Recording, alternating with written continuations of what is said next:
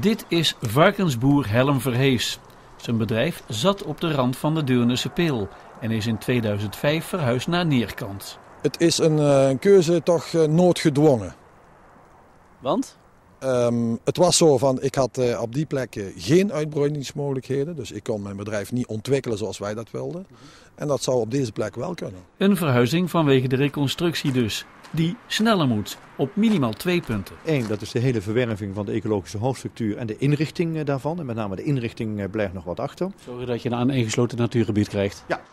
En het tweede waar we uh, achterlopen, dat is in de hele verplaatsing van uh, de boerderijen, intensieve veehouders uit de uh, zogenaamde extensiveringsgebieden. Dat zijn de gebieden rondom de natuur, die verplaatst gaan worden naar landbouwontwikkelingsgebieden. Reconstructie is niet enkel een boerenaangelegenheid. Reconstructie en milieu hebben alles met elkaar te maken, want daar is het juist op bedoeld. Het is juist bedoeld om het water schoner te krijgen in Brabant, om natuur en landschappen beter te ontwikkelen en om de lucht schoner te krijgen in Brabant. Dus zonder reconstructie kunnen we onze milieudoelen ook niet bereiken. Vraag is natuurlijk, hoe kun je het proces versnellen? Dat is zorgen dat we wat meer sterker zelf de regie nemen.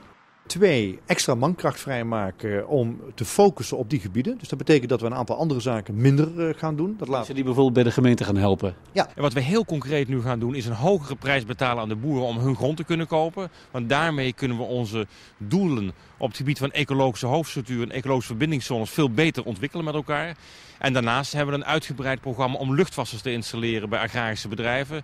Waardoor je ene kant de agrarische groei mogelijk maakt en anderzijds zorgt dat de lucht er niet slechter van wordt. Voor varkensboer Verhees is alles al achter de rug. En tot genoegen. Achteraf zeg ik ja, wij zijn tevreden.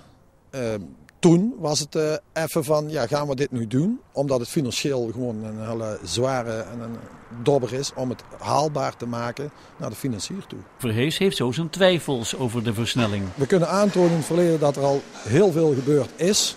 En punt twee, uh, de vrijwilligheid moet je voorop houden om gewoon draagvlak te krijgen onder de landbouw. Om uh, bedrijven ook daadwerkelijk te willen verplaatsen en er ook de ruimte toe scheppen.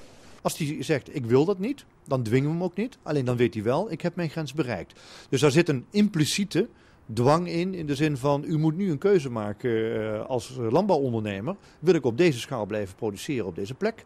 Of wil ik verder gaan, dan moet ik naar een andere plek toe. De reconstructie loopt nog tot 2017.